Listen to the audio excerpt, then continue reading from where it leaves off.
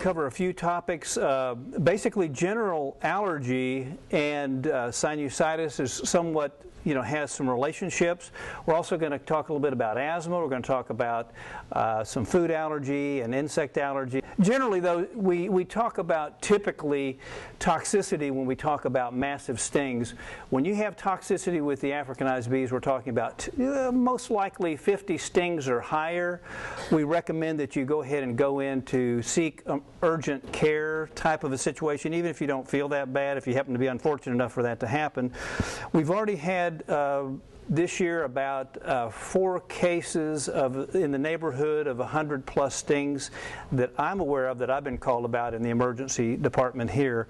Typically, we have a couple of dozen a year uh, that are in that type of category. Some as much as uh, 1,500 stings. Um, and interestingly, the highest number of stings that we've had here is in someone who actually who lived, and some of the lower ones we've had a few fatalities with them. So the main main deal is though. It's related mainly with starting up machinery like lawnmowers and, and weed eaters and types of machinery. And if you inspect the area before you start up the machinery, that would be the best thing to do because if there's an Africanized colony that has moved into the area, which typically happens when they swarm about this time of the year, they establish new locations, there will be lots of bees, a lot of activity around an area. And then if you get close enough, sometimes it's kind of like ringing the fire alarm and they just go nuts. You've never, if you've never seen a colony that's mad. It's one of the most incredible experiences you, you could see. It's right out of uh, science fiction movies, you know, where they're, run, you know, run, here they come.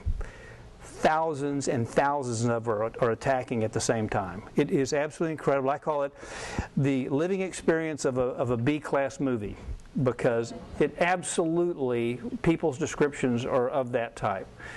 So the main feature is exactly what he said, get away.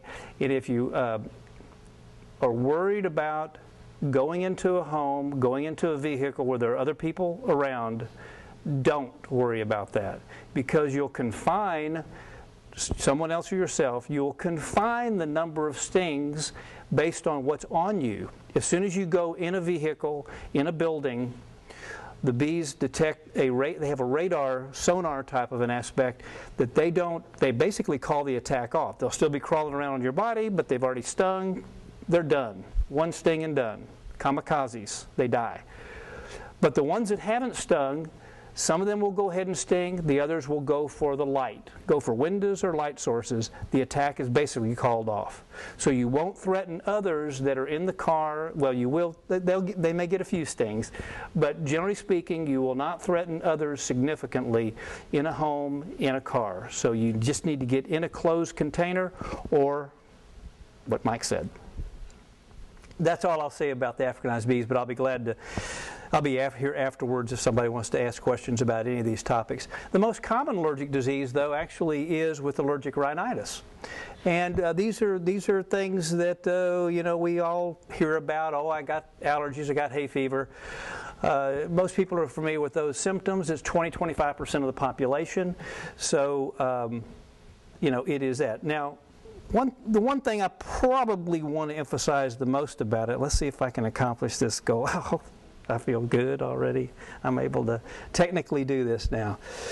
Is it shows about what the frequency is of allergic rhinitis. Extremely common, but the most important thing I wanted to bring up about it, because I got a good number of slides, is I want to show you a few things that that often is not talked about, and that is how it affects people's lives, how it affects their quality of lives. I, I, I kind of get a kick out of the, the uh, this, this slide where it says uh, aller nasal allergy sufferers feelings during allergy season. And uh, we're looking at symptoms that are not related typically to the runny nose, sneezing, itching of the nose. We're looking at symptoms that are kind of more generalized, how you feel.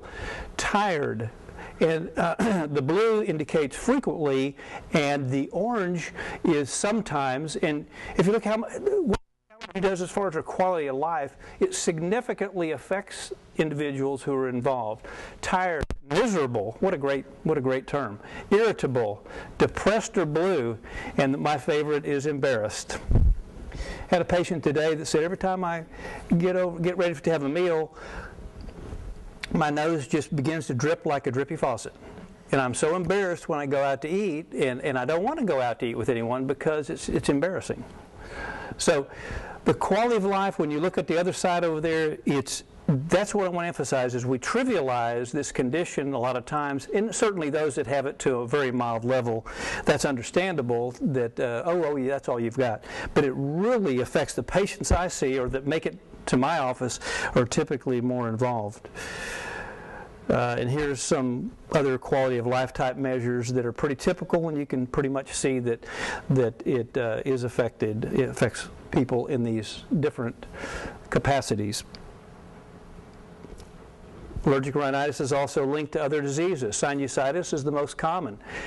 How many of you uh, have a diagnosis? Well, I shouldn't ask that. I'm not going to ask that. Sinusitis is so common, and often people say, "What what is the difference between having allergies or allergic rhinitis and sinusitis?" Here's what it is. Allergic rhinitis typically affects the nose, the lining of the nose. Sinusitis is extension from the nose into the areas. There are passages that go to the sinuses. So if we were to say an extension of an allergy could, in, could involve the complication of sinusitis. The pressure in here often leads to sinus infections, but certainly discomfort. When we have barometric pressure changes like we just had with fronts uh, that come through, oh, somebody told me, you need to label this low pressure or something like that. that people get these pressure things, and it, and it blocks the sinus cavities. Now, some will have sinusitis, absolutely, that have no allergies whatsoever because they have inflamed sinuses, and uh, that is their primary diagnosis. So it goes along with complications of rhinitis, and it can be sinusitis on its own that has no relationship with sinusitis. Kind of like if if if someone has any other and then a complication of that can be with uh, hypertension. A complication can be with uh, the kidneys failing, or it can wear out the heart. Complication can affect the heart. Diabetes, complications of that. So this is kind of in the same line, but you can also have sinusitis allergy. Affecting the ears, asthma. Look at those percentages. Those per, that's pretty impressive, I think. 25 to 40 percent of patients with allergic rhinitis have asthma. 75 to 80 percent of patients with asthma have allergic rhinitis. Interesting. Treatment of allergic rhinitis improves asthma. So there's a good, there's a good reason to do that. And then with the eyes and with uh, dental malocclusions, if someone's, for example, a chronic mouth breather, that can result, especially in the developmental years with uh, young with uh, those who are uh, who are still growing. It can affect them more. Many types of rhinitis, in addition to allergic, although we do know the, the allergic ones as listed over there, but you have a lot of non-allergic types too, and uh, that can be related to frequent infections. Vasomotor is just an instability of the nasal lining in reference to the tissues and the nerve innervation that causes abnormal swelling and shrinkage of the tissues. Medications, uh, are, are any of y'all familiar with the Afrin nose? Getting hooked on decongestant nasal sprays. Heard of that? Medication, some other medicines too. People get hooked on uh, the nasal sprays, the decongestants. Brings me a lot of business. I like the Afrin people, Neo-Synephrine, they're my friends. But there is a place for that, that type of medication for very short term use, and it's very helpful. Anatomic problems and, and all. So there are other conditions outside of allergy.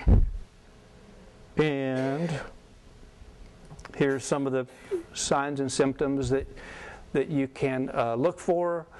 Allergic salute, I'll, I'll just do it one time. It's, you know, the, that one. Typically the kids do that one, and so. Here's a little bit of a look of the, uh, on one, the allergic shiners where someone's mouth breathing these lines under the eyes that often indicate swelling under the eyes. I think they could have done a little bit better picture than that. Someone who's got a little bit more remarkable swelling. Anyway, uh, remarkable swelling under the eyes. And I think that last one's really a pose position on that mouth breather there. But anyway, kind of shows you there's different ways that we can diagnose it as far as with uh, testing and all, and certainly with examination being close. I won't go into these things in detail because we got too many things to talk about.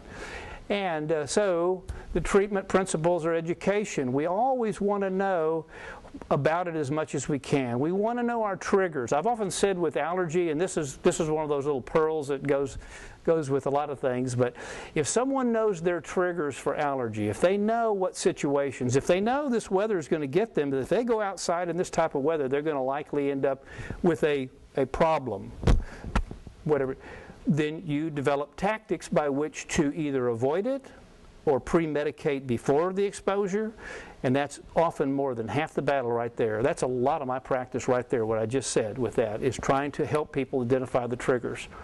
Of course, having medications and immunotherapy is with the allergy injections and those that it would be appropriate for. So education, I'm going to go on. Pearls, here's uh, some more. I guess we're going to use that term here. In reference to allergy, the most common inhalant allergy is dust mites. All of the department stores now carry these allergy proof encasings. I don't know if you're aware of it, but uh, they all have them now. Uh, Target, Walmart, Kmart, Marshalls, Penney's, Kohl's. I think I covered them all that I can think of offhand. Probably Sam's too now. Haven't haven't checked that out yet. But anyway, these allergy proof encasings actually cause it's, it's like a super filter. Basically, whatever's in the pillow, whatever's in the mattress, which is the number one source of dust mite exposure, that will keep them in there. Air goes in and out, but no particles, no dust mite particles. So that is the most effective thing that you can do. Using special filters can be helpful. Uh, you know, cigarette smoke, of course. Uh, keeping the windows closed during times of the year like now, when we have pollen seasons and this type of thing. Okay, so when we talk about treatment, we're talking about these different levels, and there's different treatments that are available for the different levels. That's all I wanted to kind of point out here. We have a stepwise treatment, just like we have for allergic rhinitis, we also have for sinusitis, we have for asthma also. Stepwise treatment. So whatever you're doing, you know, the doctor that you go to, if you go to a doctor for your condition, whatever they're doing, if you just give them one shot at it, well, there's often another step or two that you can take, or three or four. And if that doesn't work, of course, then you go to the specialist.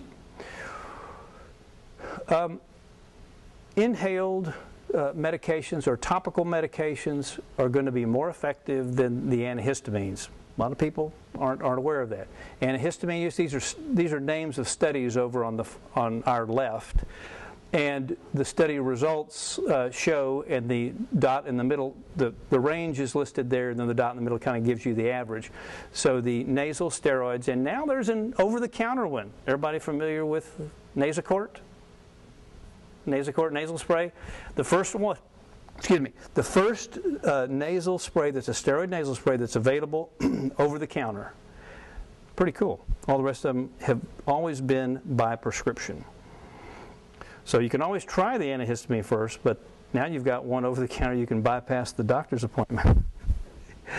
the referring to a specialist, of course, there are several things that you know you can you can tell that if it's not working out well for multiple multiple reasons, you you can uh, you you should be referred for that. And then the allergy injections, and uh, the summary of this part would be.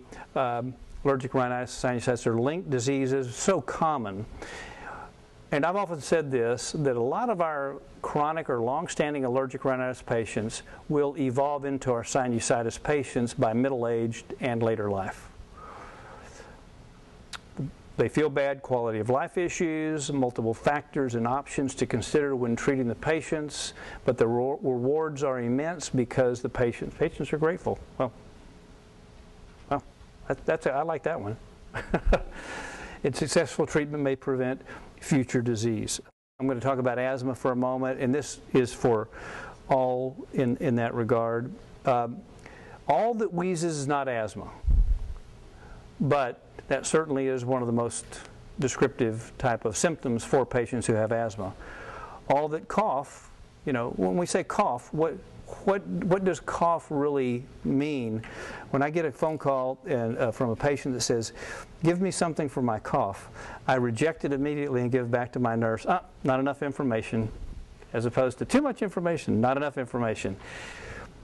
The most common symptom in asthma patients is cough, but there's so many other things that can cause cough that, uh, you know, we have to have more information. But Number one symptom, and I never can quite understand this, when patients who have asthma and they develop like an upper respiratory infection, they say they're coughing like crazy, give me something for the cough. I say, well, you got asthma. Use your inhaler. Oh, didn't think about that. It's like, whoa. Well, it felt different, you know, or it's an infection, you know. Well, yeah, but that's one of the most common triggers of asthma. So, cough, wheezing, shortness of breath.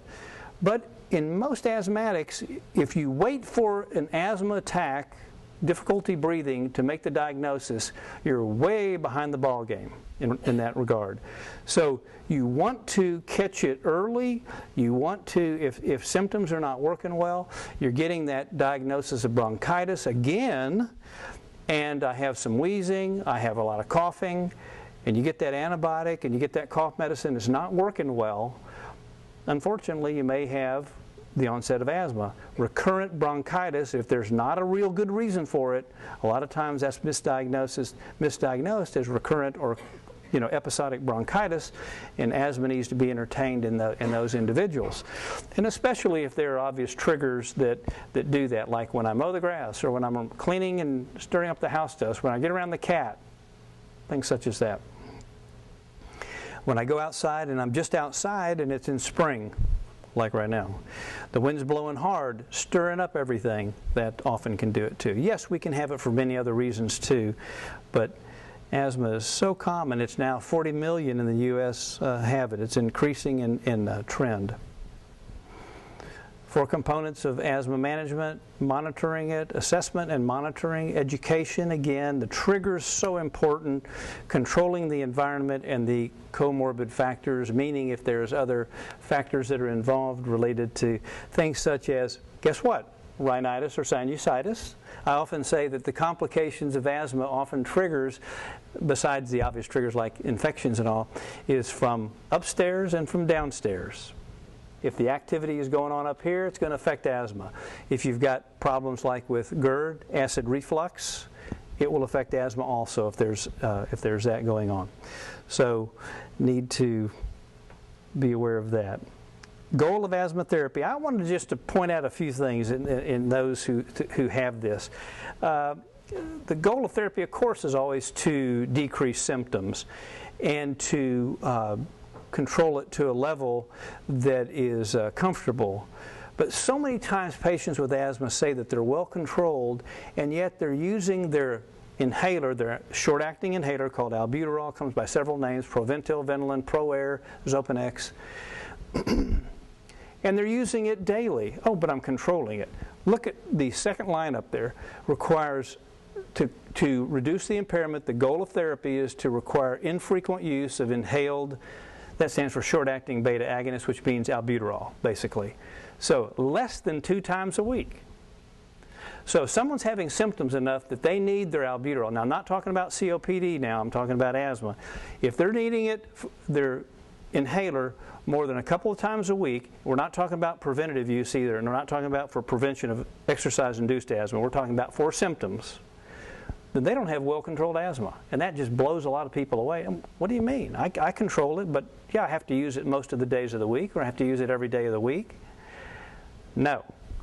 That means they need to step up with their controller medicine, which is another type of med- another category of medicine, which most of you have at least heard about by advertisements on TV or in magazines, like Advair, Symbicort, Flovent, many, many, many options that we have for controller medicines that are typically used on a daily basis to prevent symptoms from coming up so you don't need to use a short-acting agent like an albuterol. We want to have normal lung function. We want to maintain normal activity in all patients at least 95% of the time or more often, certainly triggers will, will cause problems with asthma. Uh, that uh, for short periods of time that they may not be able to do a physical activity, but the high, high majority of the time it should be accomplished and only that 5% of individuals who have severe asthma, yes, that's a different story. But the high, high majority, obviously, that have the mild and moderate levels should be easily controlled the high majority of the time. Now, this is, this is going to be a bad thing I'm going to say in reference to uh, both patients and doctors.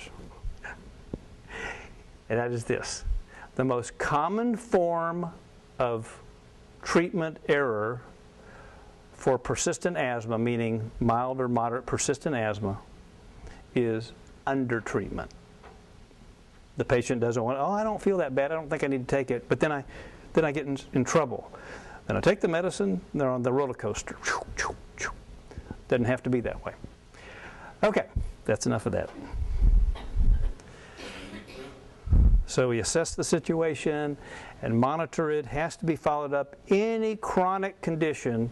This is another little general thing that transcends asthma or any other condition, and that is that any condition, any chronic condition that requires a form of treatment should be monitored on a regular basis by a physician. Okay? Maybe it's once every six months, maybe it's just once a year, maybe it needs to be followed up the next day or the next week or the next month. If you're on medication, you need to be followed up classification of asthma control. If you look at this, this is a general, this is by the national expert panel that came up with this. Uh, I think it was 2007.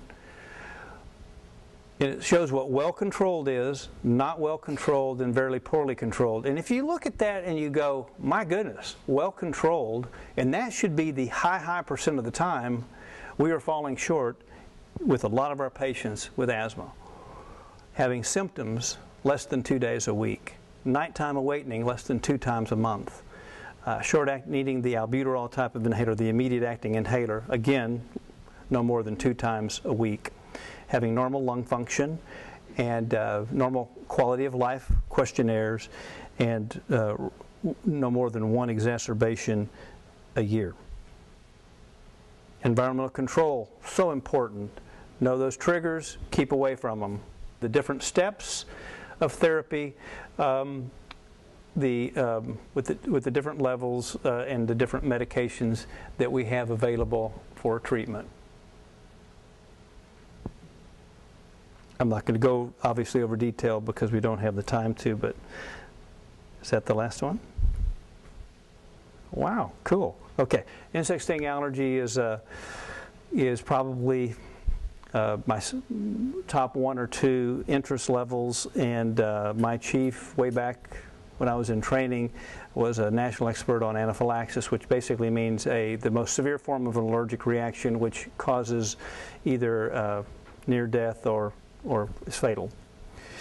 When we talk about insect sting allergy, this is one we typically do have a few fatalities here. Now, I'm not talking about the massive stings from the Africanized bee. I'm talking about just getting one sting. I'll never forget when we had the Africanized bees first arrive in the valley in 1990. They had made front page news. Front page news. The first colony in, in the town of Hidalgo. And then it was uh, about a week later. It wasn't very long at all after that. That on the second page of the newspaper it had a relatively well known individual in Harlingen, age 52, who died with one wasp sting. One wasp sting. So, you know, the, of course, the news wants to make news with what they want to make. The news is what the news says is the news. And I just thought that that's incredible that you have that, that huge risk factor. We had uh, someone, you know, that Bike Fest, probably all of you know, that Bike Fest just ended at the island. Two years ago at Bike Fest, when a group was coming back from the island back to Harlingen, a an engineer working in one of the healthcare facilities, not here, uh, died with one bee sting on the way back between uh, the island and uh, Los Fresnos. So this needs to be taken very seriously, and unfortunately, when patients have that, they wait too long when they begin to feel something happening to present. And that's the most vulnerable time is, you know, a lot of people are also aware we're going to, the last we're going to finish up with is food allergy. And the same thing happens with food allergy. If anybody knows someone who has an insect sting reaction where it went to a dramatic level very shortly, or if you know someone who has, say, shrimp allergy or peanut allergy who had that severe reaction that was life threatening, that's what we're talking about that is anaphylaxis. And so it's a very, very difficult, uh, difficult situation when it happens because when it hits, it hits and it's, it's hard and fast and uh, action needs to be taken place quickly. Um, the normal type reactions that are local reactions, even large local reactions, I'm not talking about that. We're talking about those who get the sting, and typically within minutes they begin to have trouble with breathing. They often have rash and itching all over, and it progresses so rapidly that it can be uh, life threatening or fatal uh, within minutes. And the other shame about it is, I think, to a degree, is that we know that when patients present to the emergency room and they get taken care of and whatever at that level, there is a treatment, and it's listed right down there at, towards the bottom venom immunotherapy. This is allergy injections. Reduces reaction rate on resting from 40 to 60 percent. In other words, those that have a severe reaction will have a 40 to 60 percent chance of having the similar type of most severe reaction. Why it's not higher than that? Why you know that, I don't know, but that same level. They may have a mild reaction, uh, others, but 40 to 60 will have that same level. But if someone is on the definitive therapy for it, it's basically a cure. And most patients who have that life threatening anaphylactic reaction are never told that. So it's one of my missions to always bring that out that if you know someone who's had a reaction that was not, we're not talking about a local skin reaction, large reaction, you need to tell them to go to an allergy specialist, and only board certified allergists will deal with this because this is strong stuff we're dealing with. This is effectively a cure. Okay, there have been lawsuits over this issue also, by the way, where uh, their doctor has not told them about this definitive treatment, and I hate to say it, but that's that's the way it is. Okay, so we're going to take some pictures of some. Wasp, bee, or yellow jacket? Anybody want to call it out? Like yellow jacket. Yellow jacket? Yellow jacket? Wasp? Oh. Yellow Jacket, Wasp. Didn't I tell you to take these titles off? This is supposed to be a quiz. Everybody, everybody here is supposed to be familiar with the wasp. The difference with the uh, yellow jacket is extremely bright colors, a little shorter, a little fatter than the wasp, than the paper wasp. This is what we have the most of here between the two. We really don't have yellow jackets per se. I mean, there's always exceptions, but per se. Hornets we also don't have here. Those things are huge in comparison to the other ones. Those can be uh, up to this size and are, are, big. They're pretty awesome. And then um, here's the typical honeybee, and the Africanized bee will look exactly the same. You cannot differentiate them by the visual, only by uh, microscopic evaluations or genetic uh, or genetics. And then, is everybody familiar with the fire ant? Oh man, that is a nasty critter. And we're going to show you a picture of one here. Uh, there's the distribution uh, through the years, basically in the south and southeast part of the country. There's a fire ant doing its thing, grabs on with its mandibles and stings, has a stinger and injects venom in the back end. If you don't knock it off, it will rotate on those mandibles and repeatedly sting. And there's someone who, I don't know what he was doing, but doesn't sound like, doesn't look like it was very bright, whatever it was. These are described as pustules once they come up, but they're sterile, meaning that the pustules are not infected the, in the venom, it degrades the tissue on the surface and causes it to, the tissue to degrade into a pus-like material. And there's another example of it, of kind of just showing, going through the evolution of the uh, sting and how it looks through time. Okay. Uh, everybody familiar with EpiPen? This is the emergency injector for those who have anaphylaxis, the life-threatening type. This is actually epinephrine, adrenaline. This is available by prescription, and it is for individuals who have the condition, either with food or insect anaphylaxis, to have this available, or an anaphylaxis due to unknown reason. And it uh, automatically will inject the epinephrine. Safety is taken off off the cap, and then you, in the middle thigh area, push it in. It automatically, the needle comes out and injects the medication. Hold it in place for, they recommend 10 seconds, and then go to the emergency room. The individual that I mentioned, it's not 100% effective, but it's very much life saving. The individual I was mentioning that went to Bike Fest, that was two years ago, he actually administered this because he had the history and it did not save him. Um, but that, that's what you need to have. And here's the newer version. Here's a newer version. This is a cool one because people forget how to use this one. This one came on the market about a year ago or so. This is pretty cool, the size of it and all. And this trainer contains no needle or drug. Talks to you. If you are ready to use, pull off red safety guard.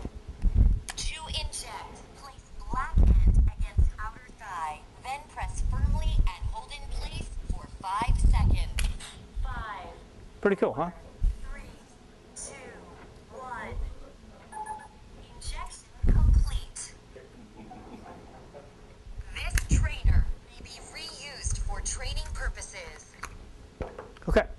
So that's, that's the emergency epinephrines that we have available.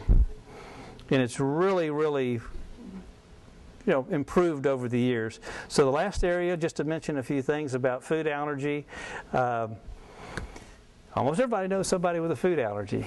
Okay, there's listed. But everybody who thinks they have food allergies often don't.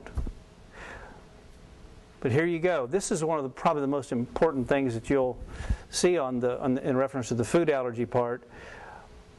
That 90% are related to eight foods, and there they are. 90% of food allergy is related to one of those milk, peanuts, eggs, tree nuts, wheat, fish, soybean, or shellfish. You may know that, gosh, it's been about seven years ago, I guess, that the uh, requirement, federal law, that if you have one of these foods in a product, packaged product, it has to be clearly labeled as this product has a milk component or an egg component. Because the old method was you have to put the ingredients on there by law in the order of the concentration that they are in the product. Well, how does someone know that in the ingredient section that ovalbumin is one of the common proteins in eggs? And it's, by, by the way, happens to be one of the most common allergens in eggs, but didn't say eggs. Or lactalbumin is in a product. That's a milk component. Anyway, so they came up with this saying that yes, it puts that in the ingredients, but you have, it, have to have it clearly stated on the label if it has one of these eight items in it, that it's on the, the food product label. Okay, basics. Role of the immune system is to protect the body from germs and disease. Food allergy is an abnormal response by the immune system to a food protein, typically a food protein, not the oil. Okay? When the food is eaten, the immune system thinks the food is harmful and releases histamine and other chemicals to attack the enemy. But that, in that case, it has, you know, to, uh, it attacks you because it's think it's misdirected. There's no cure for food allergies, although they are looking into it and research is looking better. We may have a desensitization program for foods before too much longer. Avoidance of ingestion of the allergenic food is the only way to prevent a reaction from occurring. I, I don't know if it's in this slide set, but I'll, I'll bring it up. that if in polls that have asked how many, what percent of the population, do you feel like you have a food allergy? The numbers are typically around 35, 39 percent of the population to feel like they do. In actuality, it's 2% of adults and about 8% of children. But people may have food intolerance that's not an allergy or other types of adverse reactions. And for example, it's talking about that in this slide here. So an adverse reaction, for example, could be somebody who says, I'm allergic to caffeine. Well, they take it because it tears up their stomach or spicy food. That's not an allergy, that's an intolerance. Lactose intolerance is a lactose uh, type of intolerance that is a lactase enzyme deficiency. So you have that. That is not an allergy. Gluten sensitivity is not an allergy. But they are certainly adverse reactions to foods from a different context. Here's list a few of these that we're talking about. My knowledge of the slide sets here. Okay, so anyway, if you have a reaction to a food, of course, it can affect any of these areas, any one or multiple of these areas. And at the bottom it says, when we talked about anaphylaxis, when it's a more generalized reaction comprising multiple of these symptoms, that's typically anaphylaxis. And here's a few uh, examples of how that can present.